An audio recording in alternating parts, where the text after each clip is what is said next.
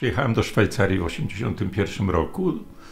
22 września. E, powodem wyjazdu z Polski były zainteresowania, moje zainteresowania zawodowe związane z wykształceniem. Jestem z wykształcenia kartografem, skończyłem kartografię na Uniwersytecie Warszawskim na, na Wydziale Geografii. Moją specjalizacją była y, interpretacja zdjęć lotniczych i satelitarnych i z tą y, specjalizacją nie mogłem wówczas znaleźć pracy w Polsce, natomiast bardzo łatwo znalazłem pracę w innych krajach, no i z kilku ofert wybrałem właśnie ofertę pracy w Szwajcarii. Bardzo szybko trafiłem na Muzeum Polskie w Rapperswilu. Znalazłem się tutaj przypadkowo, natomiast zainteresowała mnie kolekcja map, y, szczególnie fakt, że tymi mapami nikt się nie zajmował. Także praktycznie już w zimie 1981 roku zacząłem porządkować tą kolekcję map i e, snuć marzenia o wydaniu jakiegoś katalogu i szczegółowego opisu tych map. Okej. Okay. To mm, kiedy dokładnie pan się zaangażował w pracę muzeum? E, właściwie zaraz po przyjeździe, w jesienią 81 roku.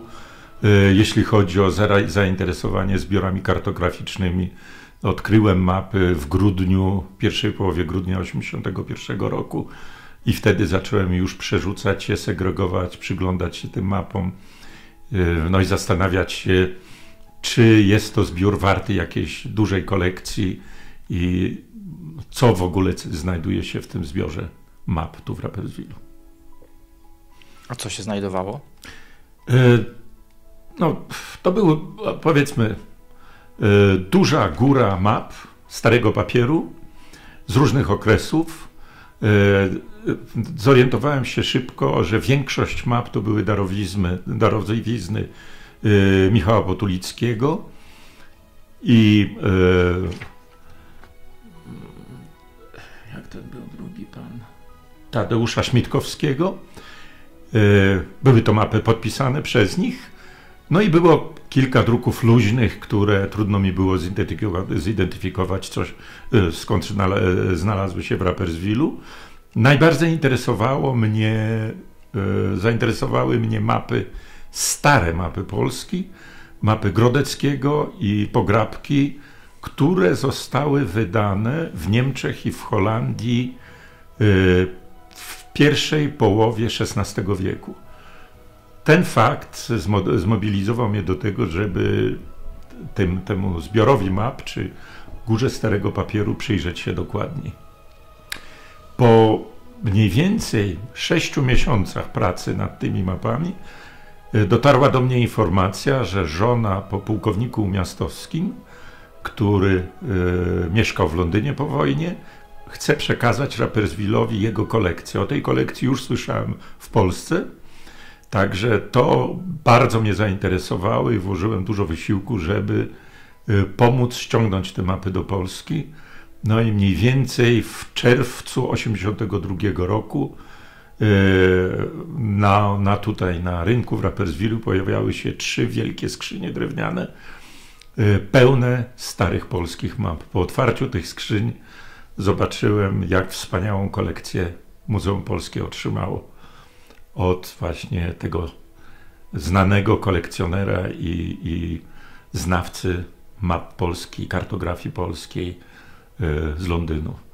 No to był początek już to takie powiedzmy zorganizowanej pracy nad kolekcją y, tu map raperswilskich. Wtedy również powstała Y, nazwa kolekcji, kartografia Rapperswilliana Polonorum i pierwsze, powiedzmy, prace nad e, wydaniem katalogu tych map.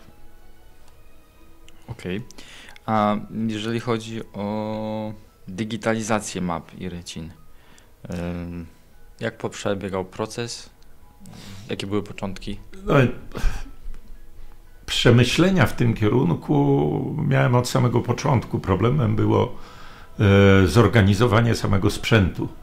W latach 80. zorganizowanie skanera, który mógłby bez zniszczenia map e, zeskanować duże arkusze powyżej formatu A0 było praktycznie niemożliwe z wielu względów. Po pierwsze, technologia nie była tak posunięta tak daleko, żeby tego typu skanery w ogóle można było znaleźć na rynku. A drugie, jeżeli nawet się znajdowało takie skanery od czasu do czasu, to ceny były tak wysokie, że to w ogóle nie wchodziło w rachubę. Rozważaliśmy również wewnętrznie tutaj sprawę przekazania y, zbioru map do zeskanowania jakiejś zewnętrznej instytucji. Nawet w Polsce y, taka nieduża firma, której nazwy już w tej chwili nie pamiętam, y, próbowała zeskanować tę mapę, ale jakość tego tych skanów była tak mała, że żeśmy się na to nie zdecydowali. Dopiero w roku 94, czyli ponad 10 lat po pierwszych, e, po, powiedzmy, po rozpoczęciu prac nad katalogowaniem map, pojawiły się realne możliwości zakupu skanera i zeskanowania e, tych wszystkich map. Skanowałem je tutaj częściowo tu w Rapperswilu, częściowo w domu. Ten skaner stał u mnie w domu ponieważ e, zawodowo nie zajmowałem się kartografią, pracowałem w zupełnie innej dziedzinie. W związku z tym starałem się wykorzystać każdą wolną chwilę, żeby te mapy zeskanować. W sumie trwało to mniej więcej 3 lata i w roku zakończone, zakończyłem skanowanie tych map w roku 97 z różnymi przerwami. E, zeskanowanych zostało ponad tysiąc map ośmiu różnych wersjach, czyli można powiedzieć, że każda mapa osiem razy przeszła przez skaner i na serwerach mamy w tej chwili y, około 10 tysięcy plików, które zajmują ponad 2 terabity na twardych dyskach. Co można sobie wyobrazić, w latach 90. też było nie lada wyzwaniem zdobycie tego typu serwerów w, w jakiejś przystępnej cenie, to wymagało również dużo wysiłku i pracy. No ale w końcu w 1997 roku możli, można było zakończyć skanowanie map, no i przystąpić do prac wydawniczych yy, katalogu no, kartografia Rapperswilliana Polonorum, który został wydany w 1999 roku w ostatecznej wersji, poprzedzony w 1986 roku małą wersją katalogu pod tytułem Polska cała. Tytuł tego, tej pierwszej wersji katalogu wziął się z nazwy zbioru map, którą e, używał dla swojej kolekcji pułkownik Romianu Miastowski. Dlaczego mapy są ważne? E, na to pytanie właściwie trudno mi odpowiedzieć jako osobie, która uważa, że w ogóle mapy to są jedne z najważniejszych rzeczy, e, które człowiek e, powiedzmy wydaje, nad którymi pracuje, ale jest to bardzo subiektywna ocena. Dla mnie mapy są podstawowym źródłem informacji o historii, o geografii, o przyrodzie, o zmianach i wszystkim, co nas otacza. Mapa zawiera właściwie wszystkie możliwe informacje, które są interesujące dla, y, dla nas ludzi w, w celu zorganizowania życia społecznego, życia wspólnego z naturą i y, tworzenia historii czy badania historii. Jest to subiektywna ocena, dla mnie jest to po prostu najważniejsza rzecz. A jak myśli pan, skąd u pana się wzięło zainteresowanie mapami przed studiami? Prawdopodobnie działalność mojego ojca, który e, jako profesor geologii wydawał najprzeróżniejsze prace geologiczne, w których e, zamieszczał mapy. Mapy te rysował ręcznie w domu e, i byłem zachwycony jakością tych rysunków.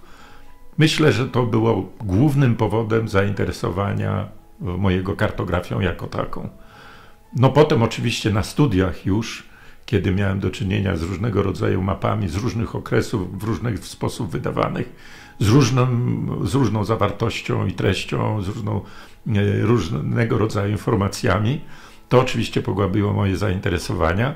No i możliwości interpretacji zdjęć lotniczych i satelitarnych, tworzenia z tych informacji, z tych podstawowych materiałów, map, stało się moim głównym zajęciem w czasie studiów, no i tematem mojej pracy magisterskiej.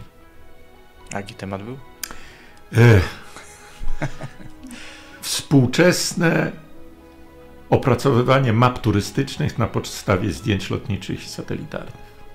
Teraz ta technologia się mm, zmieniła? Śledzi Tak, pan? w tej chwili to już zupełnie inaczej wygląda.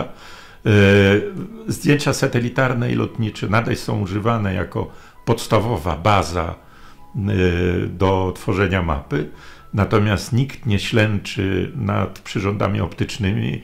Analizą tych informacji, tych zdję- zdjęć zajmują się odpowiednio oprogramowane komputery. E, Człowiek tylko po prostu pisze programy, tak żeby uzyskać z tych zdjęć, z tych e, informacji podstawowych to, co chce się przedstawiać na, późniejszej mapie. Mogę się trochę mylić, dlatego że od współczesnej e, produkcji kartograficznej jestem dość oddalony. Od lat, końca lat 90. moim głównym zainteresowaniem były mapy stare, dawne mapy ziem polskich przede wszystkim.